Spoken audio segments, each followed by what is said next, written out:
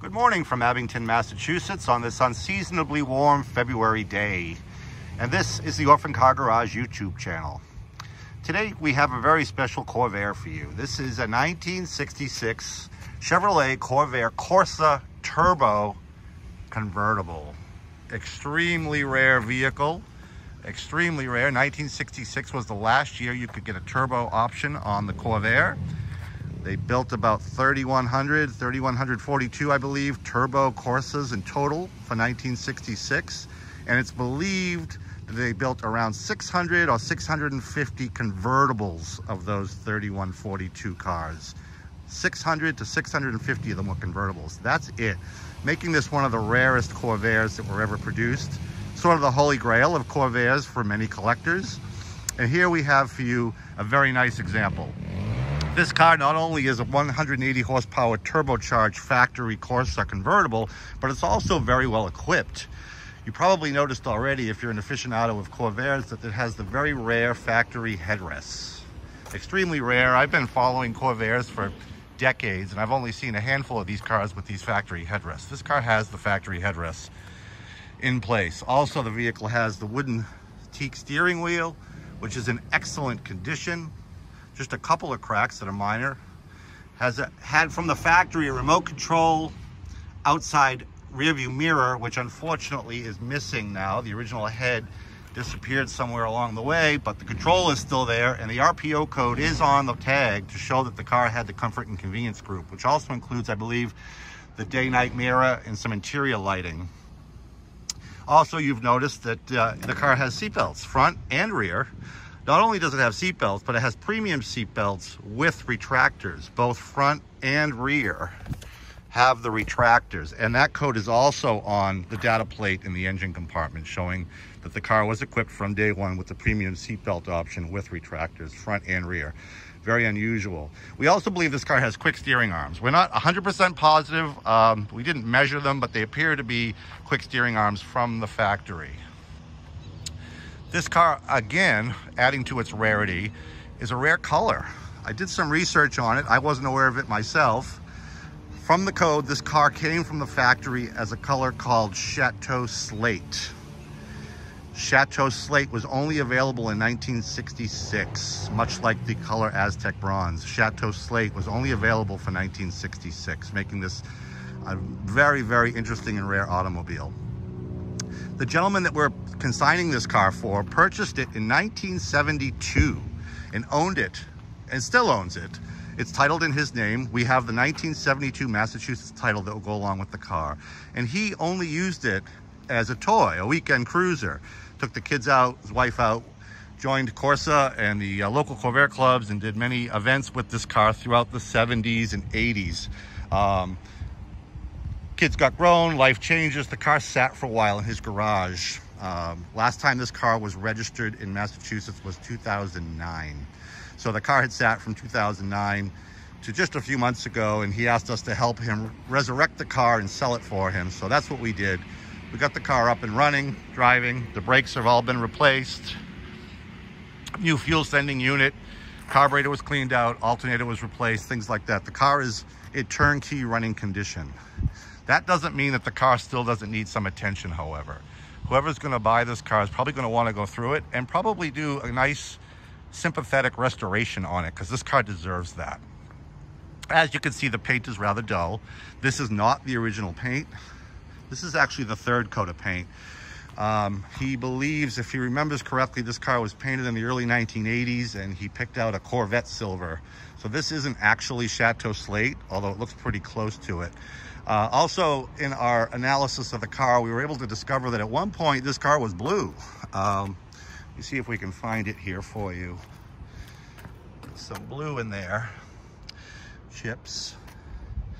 Um, and when we brought that up to the owner, he did recall that when he bought the vehicle in 1972, it had been painted blue by the previous owner. Uh, but our, so we've got to assume that there's three coats of paint on this car. The original Chateau Slate, the blue, whatever that is, it's sort of a marina blue, I think, and then the uh, Corvette Silver. So um, if this was my car, I would probably strip it right down to bare metal, start from scratch and paint it that original rare Chateau slate. Overall, the car is very, very, very solid. I have pictures of the floor pans, which are immaculate. The floor pans in this car are amazing, especially considering it's a New England vehicle, but it was never really driven too much in the winter. Maybe it's early years, but not too bad. You see paint's cracking. There's some surface things. Um, paint peeled off the gas door. I have lots of pictures I'll be previewing um, on my website and on eBay. Anybody that sees the vehicle here on YouTube and wants more information, I'd be happy to pass those pictures along. Get to the engine compartment, which is the meat and potatoes of this car. This has the rare 180 horsepower turbocharged engine from the factory. There's your emblem to show that. Let people know that you opted for the turbo, and then that's another dead giveaway, that chrome tipped exhaust coming out of the right side lower valance a giveaway that you've got a turbo car.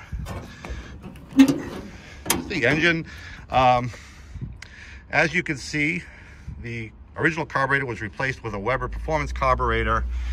It does the job. Um, if it were my car, I would revert it back to the original carburetor.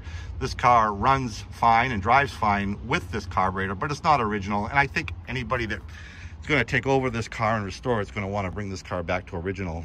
Um, Unfortunately, the owner that had this carburetor swapped misplaced the original carburetor. So we do not have the original carburetor to go with the vehicle. But like I said, with this carburetor, the car starts and runs fine, drives fine.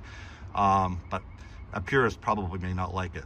I've talked to some guys with Corvairs that love these carburetors and say they're much better than the OE. I guess it's all preference. I prefer the original, very usable. The um, common soft spot in these cars is the battery tray and it's in beautiful shape. The original drain hoses are still here and it's got the original clamps the gm style clamps for the battery. Very interesting. Um, i'm going to post a picture of the body tag. A lot of guys are interested in that. There's a cool oil change sticker in here from 1978 showing the car has 88,000 miles on it. 1978 i think the vehicle now has just over 90,000 miles on it. So from 1978 to 2009, this car was driven sparingly, very sparingly. We believe that 90,000 miles is original, but we cannot guarantee that vehicle of this age. But the owner from 1972 claims that it is, and I tend to believe him based on the condition of the car. So, as you can see, some personal liberties were taken over the years on this car prior to the 1972 ownership. And by that, I mean those gauges were added. They're very nice. They're vintage, properly installed. They do not operate. They seem to be disconnected. Um, I like them. I think GM should have done something like that when these cars were built. They look factory. Uh, a novice wouldn't know. They're there. Uh, also, voila, a factory AM FM radio. Factory AM FM radio still in place. Again, that wooden steering wheel. Um, oh, also, this is rather odd. Someone decided to add a rear speaker to the middle of the rear seat. Not something I would have done, but easily corrected with a replacement convertible rear seat. Sadly, too, that grill looks like it could be the factory accessory rear speaker grill, but that is not what GM intended for them to be mounted. That should be mounted in the convertible top well. Speaking of convertible tops, the convertible top on this is original. I have pictures of that raised as well.